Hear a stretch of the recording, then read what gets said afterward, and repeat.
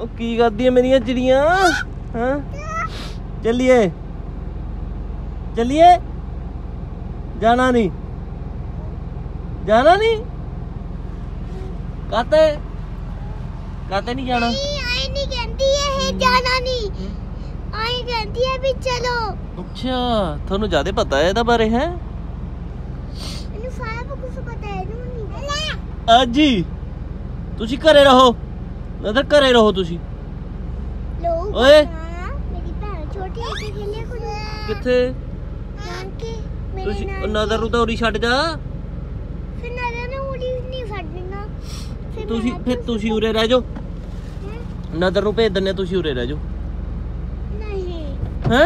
ਨਹੀਂ ਬਈ। ਪਿੱਛੇ ਬਿਠਾਤਾ। ਨਾ ਤੈਨੂੰ ਮੂਰੇ ਬਿਠਾਵਾਂ?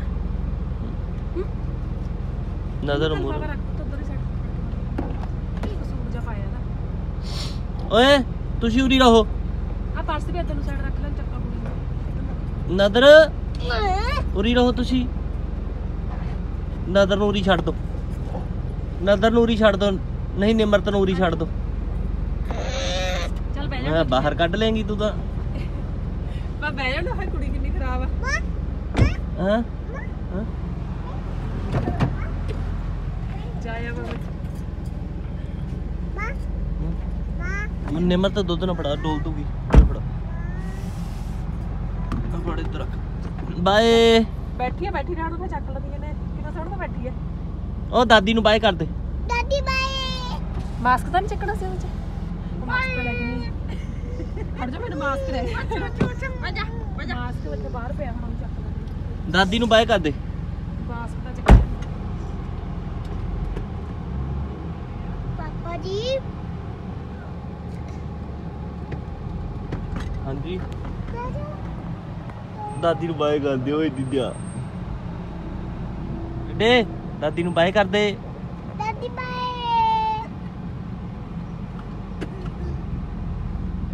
ਆ ਜਾ। ਲੈ, ਆਉਂਦੀ ਨੀ ਹੈਗੀ। ਆ ਦੇ ਆਈ ਚਲੋ। ਆ ਕੱਲ ਅਸੀਂ ਸਾਹਮਣੇ। ਚਲੋ। ਹਾਏ ਹਾਏ। ਨਦਰ ਨਹੀਂ ਉੱਠਦੀ ਹੈਗੀ। ਕਿੰਨਾ ਚਾਅ ਚੜਿਆ ਹੈ ਕੁੜੀਆਂ ਨੇ। ਤਾਂ ਐ ਕਹਿੰਦੀ ਆ ਰੋਜ਼ ਘਮਾਉਂਦੇ ਹੀ ਰਹੋ।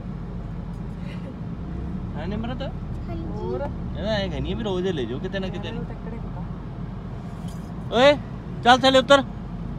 ਨਦਰ ਚੱਲ ਥੱਲੇ। ਦਾਦੀ ਕੋਲ। ਟੋਪੀ ਲੈ ਲਈ? ਹੂੰ?